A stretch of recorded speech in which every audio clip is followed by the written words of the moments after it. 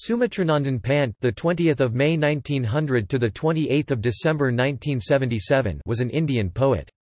He was one of the most celebrated progressive left-wing 20th-century poets of the Hindi language and was known for romanticism in his poems which were inspired by nature, people and beauty within.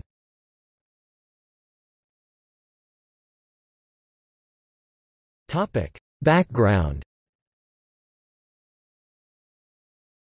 Pant was born in Kausani village, Bageshwar district in what is now the state of Uttarakhand, into an educated middle-class Brahmin family. His mother died a few hours after childbirth, and it appears he did not seek affection from his grandmother, father, or older brother, which later influenced his writing. His father served as the manager of a local tea garden, and was also a landholder, so Pant was never in want financially growing up.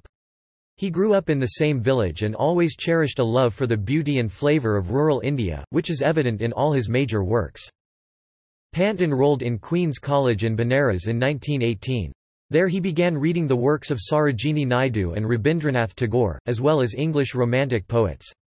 These figures would all have a powerful influence on his writing. In 1919 he moved to Allahabad to study at Muir College. As an anti-British gesture he only attended for two years. He then focused more on poetry, publishing Pallav in 1926. This collection established him as a literary giant of the Hindi Renaissance that had begun with Jaishankar Prasad. In the introduction to the book, Pant expressed dissatisfaction that Hindi speakers think in one language and express themselves in another. He felt that Braj was out of date and sought to help usher in a new national language.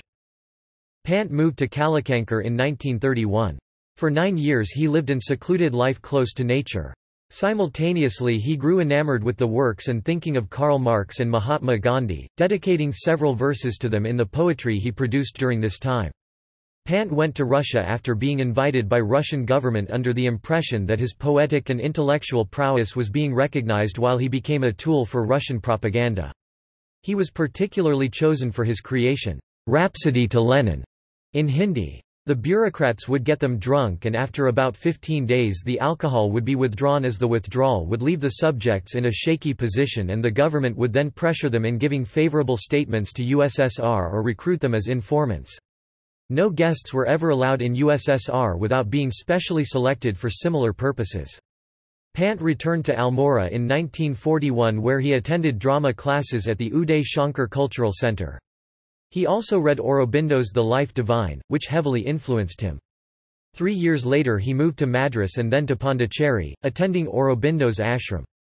In 1946 he returned to Allahabad to resume his role among the country's other leading writers.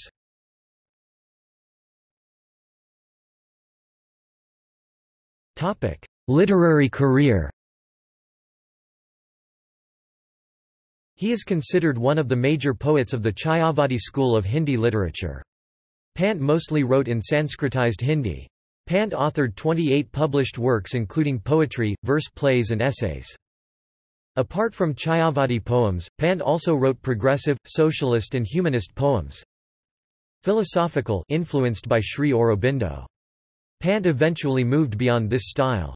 As the late scholar and translator of Pant, David Rubin, writes, "...in the early 40s the new psychological and experimental schools were emerging. It was typical of both Nirala and Pant that they themselves anticipated these trends and, by the time the new approaches were in vogue, they had already moved on to newer areas of experimentation.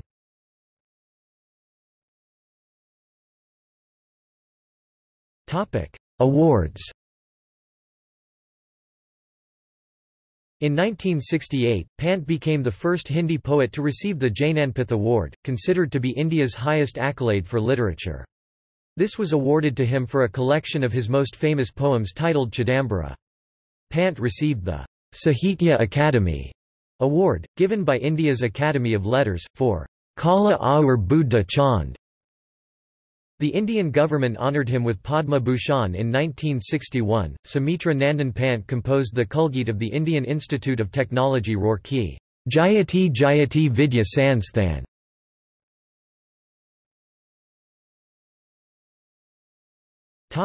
Death Pant died on 28 December 1977, at Allahabad Prayagraj, Uttar Pradesh, India. His childhood house in Kausani has been converted into a museum. This museum displays his daily use articles, drafts of his poems, letters, his awards, etc.